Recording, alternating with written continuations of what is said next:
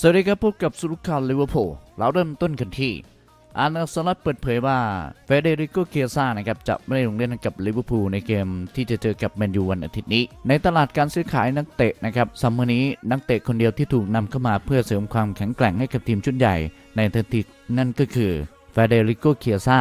และตอนนี้สล็อตก็ได้มองไปถึงเวลาที่นักเตะชาวอิตาลีจะได้ลงเล่นกับลิเวอร์พูลเป็นครั้งแรก เฟเดริโกเคียซ่านะครับไม่น่าจะได้ลงเล่นให้กับลิเวอร์พูลนัดเจอแดงเดือดวันอาทิตย์นี้ โดยวันอาทิตย์จะเป็นบททดสอบที่แท้จริงสำหรับลิเวอร์พูลโดยพอลเมอร์สันทำนายว่าแมนยูจะสร้างความยากลำบากให้กับหงส์แดงและนั่นหมายว่านี่จะเป็นเกมที่ยากที่สุดของลิเวอร์พูลในฤดูกาลนี้ หลังจากที่เซ็นสัญญากับเคียซ่าในวันพฤหัสบดี การมีปีกคนนี้อยู่ในสนามโอลด์แทรฟฟอร์ดอาจเป็นการเพิ่มโอกาสในการชนะของลิเวอร์พูลได้อย่างมาก เคียซ่าประกาศว่าเขาฟิตและพร้อมที่จะเล่นในทันทีเมื่อมาถึงแอนฟิลด์ และก็พร้อมที่จะลงสนามอย่างชัดเจน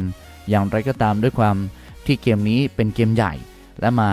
เล่นกันเร็วมาก หลังจากที่เคียซ่ามาถึงสล็อตได้ลดความคาดหวังเกี่ยวกับการมีส่วนร่วมของนักเตะชาวอิตาลี เมื่อถูกถามว่าเขามีความคาดหวังว่าเคียซ่าจะอยู่ในทีมสำหรับวันอาทิตย์นี้หรือไม่ ผู้จัดการทีมชาวฮอลแลนด์ยอมรับว่า ไม่ใช่สิ่งที่เขากำลังวางแผนอยู่ในขณะนี้ เขาจะฝึกซ้อมกับเราในวันนี้ แต่มีโอกาสมากกว่าที่เขาจะไม่ได้อยู่ในทีมสำหรับวันอาทิตย์ที่เจอกับแมนยูสล็อตกล่าว แต่ถ้ามีอาการบาดเจ็บเกิดขึ้นกับนักเตะในตำแหน่งแนวรุกอีก 2 วันข้างหน้า เราอาจจะต้องใช้เขา ผมไม่คาดหวังว่าเขาจะได้ลง แต่ผมไม่สามารถรับประกันได้เฟเดริโกเคียซาจะได้ลงเล่นเมื่อไหร่แม้ว่าแฟนๆจะผิดหวังกับข่าวนี้ แต่มันก็อาจเป็นการตัดสินใจที่ดีที่สุดจากสล็อตแน่นอนว่าอย่างที่เขาพูดอาจจะมีเซอร์ไพรส์ในการฝึกซ้อมในอีก 2 วันข้างหน้า ก็อาจเป็นไปได้ว่าเคียซาจะทำให้สล็อตประทับใจจนต้องใส่ชื่อเขาลงไปด้วยความเล่นที่ดีของแนวรุกของลิเวอร์พูลในช่วงต้นฤดูกาล เราคงแปลกใจถ้าเห็นอดีตนักเตะยูเว่นั่งบนม้านั่งสำรองที่โอลด์แทรฟฟอร์ดแทนที่จะเป็นเช่นนั้น ดูเหมือนว่าเกียร์ซ่าจะได้สัมผัสบรรยากาศทีมลิเวอร์พูลเป็นครั้งแรก เมื่อหงส์แดงพบกับนอตติงแฮมฟอร์เรสต์ในวันเสาร์ที่ 14 กันยายนนี้แน่นอนว่าจะมีช่วงพักเบรกทีมชาติระหว่างเกมวันอาทิตย์กับเกมนั้น ดังนั้นตอนนี้อาจจะต้องใช้เวลา 2-3 สัปดาห์กว่าที่แฟนๆจะได้เห็นนักเตะใหม่ของพวกเขานะครับ บทสรุปนะครับอาจจะไม่มีชื่อเฟเดริโกเคียซ่านะครับ เกมเจอกับแมนยูนะฮะ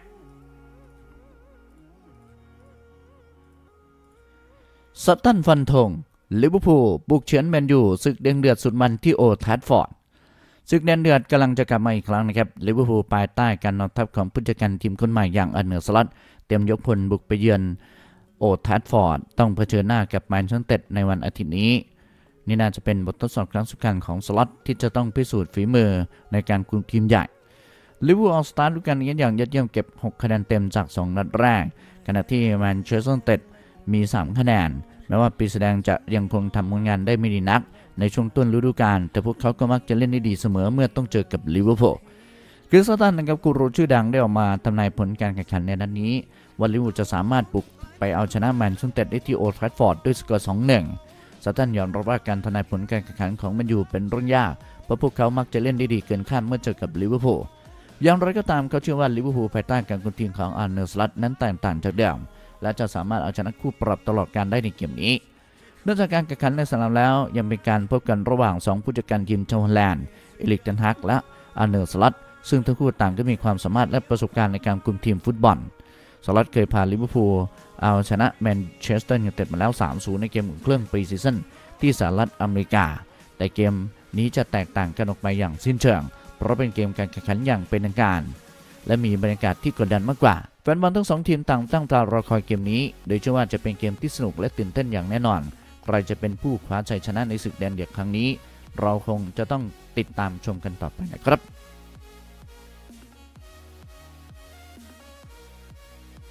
สแตนคอลลีมอร์เตือนเทรนต์อเล็กซานเดอร์อาร์โนลด์อย่าทำลายชื่อเสียงด้วยการย้ายทีมฤดูกาลใหม่ของลิเวอร์พูลภายใต้การนำทัพของอาร์เนอร์สล็อตเริ่มต้นด้วยความหวัง เมื่อสโมสรได้เซ็นสัญญากับนักเตะใหม่ที่น่าตื่นเต้นอย่าง เฟเดริโกเคียซาและจอร์จีมามาร์ดาชวิลีอย่างไรก็ตามท่ามกลางความตื่นเต้นนี้ มีความกังวลเกี่ยวกับอนาคตของผู้เล่นสำคัญบางคน โดยเฉพาะเทรนต์อเล็กซานเดอร์อาร์โนลด์ที่ตกเป็นข่าวเชื่อมโยงกับมาดริดสแตนคอลลีมอร์อดีตนักเตะลิเวอร์พูลได้ออกมาแสดงความคิดเห็นเกี่ยวกับสถานการณ์นี้ โดยเตือนเทรนต์อเล็กซานเดอร์อาร์โนลด์ว่า การย้ายทีมอาจส่งผลเสีย และชื่อเสียงของเขาในระยะยาว คอลลีมอร์ยกตัวอย่างกรณีสตีฟแม็คมานามานที่ย้ายไปมาดริด และไม่เคยได้รับการยอมรับจากแฟนๆลิเวอร์พูลอีกเลยคอลลีมอร์ยังแสดงความกังวลเกี่ยวกับทัศนคติของเทรนต์อเล็กซานเดอร์อาร์โนลด์ ที่เขาแสดงความไม่พอใจหลังถูกเปลี่ยนตัวออกในเกมพบกับเบรนท์ฟอร์ดคอลลีมอร์เชื่อว่านักเตะควรที่แสดงความเป็นมืออาชีพมากกว่านี้ และไม่ควรปล่อยให้อารมณ์ มาเป็นตัวการตัดสินใจแม้ว่าเทรนต์อเล็กซานเดอร์อาร์โนลด์จะเป็นหนึ่งในแบ็คขวาที่ดีที่สุดในโลก และมีส่วนสำคัญในการพาลิเวอร์พูลประสบความสำเร็จในช่วงหลายปีที่ผ่านมา แต่คอลลีมอร์ก็เชื่อว่านักเตะควรคำนึงถึงความรู้สึกของแฟนๆและผลกระทบระยะยาวต่อชื่อเสียงของเขา ก่อนที่จะตัดสินใจย้ายทีมคอลลีมอร์ได้เรียกร้องให้เทรนต์อเล็กซานเดอร์อาร์โนลด์อยู่กับลิเวอร์พูลต่อไป โดยเน้นย้ำถึงความสำคัญของเขาในฐานะ Scouser ในทีม และสัญลักษณ์ของสโมสรคอลลีมอร์เชื่อว่าอเล็กซานเดอร์อาร์โนลด์นั้นมีศักยภาพที่จะเป็นตำนานของลิเวอร์พูลและไม่ควรทิ้งโอกาสนี้เพื่อไปแสวงหาความสำเร็จในระยะสั้นกับสโมสรอื่น อาร์เนอร์สล็อตมั่นใจว่ามีทีเด็ดดึงศักยภาพของเฟเดริโกเคียซาออกมาให้ลิเวอร์พูลได้เต็มที่ในฤดูกาลนี้ เคียซาถูกซื้อมาจากยูเวนตุสในราคาไม่แพง ดูเหมือนว่าเขาเป็นผู้เล่นเพียงคนเดียวที่อาร์เนอสล็อตจะเข้ามาเสริมทีมตอนนี้โดยราคาที่ถูกและประวัติอาการบาดเจ็บบ่อยๆ ของเคียซาหลายคนอาจสงสัยว่าการซื้อมานั้นคุ้มค่าหรือไม่ แต่ดูว่าสล็อตมั่นใจว่าเขามีวิธีดึง ฟอร์มที่ดีที่สุดของปีกคนนี้ออกมาได้อาร์เนอร์สล็อตเชื่อมั่นในความฟิตของเฟเดริโกเคียซาหลังเซ็นสัญญากับลิเวอร์พูลเมื่อวันพฤหัสบดีเคียซาถูกถามถึงความฟิตของตัวเอง ดาวเตะในวัย 26 ปีเคยได้รับบาดเจ็บเอ็นไขว้หน้า หัวเข่าอย่างหนักในปี 2012 และมีปัญหาเล็กๆ น้อยๆ มาตลอดตั้งแต่หายจากอาการบาดเจ็บกลับมา แต่เคียซ่าบอกว่าเขาพร้อมลงเล่นได้เลย และจะลงเมื่อไหร่ก็ได้ ตามที่สล็อตนั้นต้องการและจากนั้นสล็อตก็ถูกถามว่าแฟนๆลิเวอร์พูลจะได้เห็นเคียซ่าในเกมเจอกับแมนยูวันอาทิตย์นี้หรือไม่ แม้โค้ชจะบอกว่าเขาคงไม่ทันเกมนี้ แต่สล็อตก็ยืนยันว่าเคียซ่าจะเริ่มซ้อมกับลิเวอร์พูลในวันศุกร์และตามที่เดลิเมลรายงานสล็อตและทีมโค้ชของลิเวอร์พูลก็มั่นใจว่านักเตะใหม่ของพวกเขาจะเอาชนะปัญหาอาการบาดเจ็บได้ที่แอนฟิลด์เพื่อให้เคียซ่าทำแบบนั้นได้ลิเวอร์พูลพร้อมที่จะให้รูเบนส์ปีเตอร์หัวหน้าฝ่ายฟิตเนสมาช่วยปีเตอร์ช่วยให้เฟเยนูร์ดมีสถิติอาการบาดเจ็บนักเตะน้อยที่สุด ทีมหนึ่งในยุโรปเมื่อฤดูกาลที่แล้ว และมีรายงานว่าสล็อตคาดหวังให้เขาทำแบบเดียวกันกับเคียซ่าในฤดูกาลนี้เจมี่คาร์ราเกอร์แสดงความคิดเห็นต่อเฟเดริโกเคียซ่าแม้ว่าแฟนๆลิเวอร์พูลอาจจะอยากให้สโมสรเซ็นกองกลางตัวรับ หรือกองหลังตัวกลางคนใหม่มากกว่า แต่การได้เกียรติศักดิ์เข้ามานั้นก็ถือว่าตื่นเต้นไม่น้อยหนึ่งในคนที่เห็นด้วยก็คืออดีตกองหลังหงส์แดงเจมี่คาร์ราเกอร์คาร์ราเกอร์บอกว่าในวันปิดตลาดการซื้อขายนักเตะดีลเซ็นสัญญากับเคียซ่านี้แจ่มมาก ขณะที่สตีเวนเจอราดเองก็แสดงความคิดเห็นในเชิงบวกต่อการย้ายทีมครั้งนี้เช่นกัน ข้อกังวลก็คือเคียซ่าจะฟิตทันไหมลิเวอร์พูลจะมีปัญหาเรื่องนักเตะเจ็บบ่อยในอดีต แต่ด้วยการที่ปีเตอร์ ผู้ช่วยของอาร์เนอร์สล็อตมาช่วยในตอนนี้ สถานการณ์ก็เริ่มดีขึ้นในแง่ของความพร้อมของนักเตะหวังว่าปีเตอร์จะช่วยให้เคียซ่าฟิตพร้อมลงเล่นได้ตลอดทั้งฤดูกาล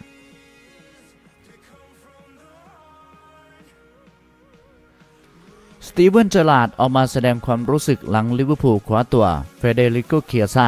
อดีตกัปตันทีมลิเวอร์พูลสตีเวนเจอราดออกมาแสดงความชื่นชมต่อการเซ็นสัญญาคว้าตัวเฟเดริโกเคียซาปีกทีมชาติอิตาลีมาร่วมทีมลิเวอร์พูลแล้วดาวเตะในวัย26 ปีเซ็นกับหงส์แดงเป็นระยะเวลา 4 ปี เมื่อวันพฤหัสบดีที่ผ่านมา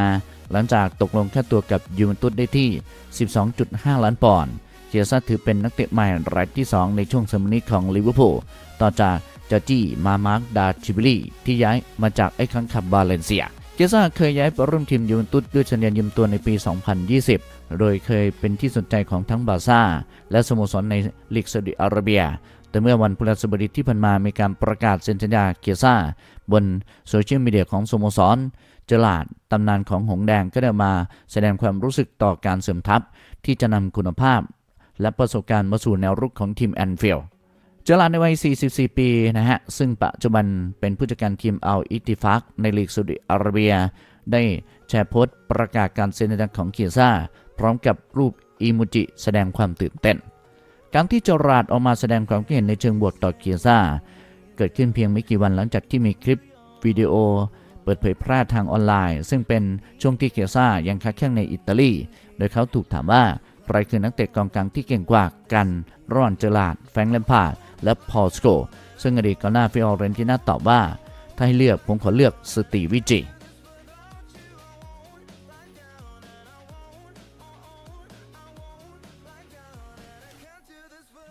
อลันเชียเรอร์คาดการณ์ผลการแข่งขันแมนยูประทันลิเวอร์พูลและคาดว่าอูกาเตกับเคียซ่าน่าจะพลาดการลงสนามอลันเชียเรอร์อดีตกองหน้าของนิวคาสเซิลเชื่อว่าแมนยูจะงัดฟอร์มที่ดีที่สุดออกมาในเกมพบกับลิเวอร์พูลในวันอาทิตย์นี้ ทั้ง Red Devil และ The Red ต่างคว้าตัวผู้เล่นใหม่เข้ามาสู่ทีมในช่วงท้ายตลาดการซื้อขายนักเตะ โดยลิเวอร์พูลยืนยันคว้าตัวเฟเดริโกเคียซ่าปีกจากยูเวนตุสเมื่อวันพฤหัสบดี ขณะที่แมนยูประกาศคว้าตัว